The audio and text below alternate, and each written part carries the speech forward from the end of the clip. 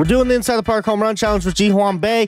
Um, I hope that's how you pronounce his name. Anyways, uh, he's got 88 speed, but not the best power. So here's everybody who wanted to see him. Bop, bop, bop, bop, bop, bop, bop, bop, bop. I haven't gotten a single thing close yet. 18. 20.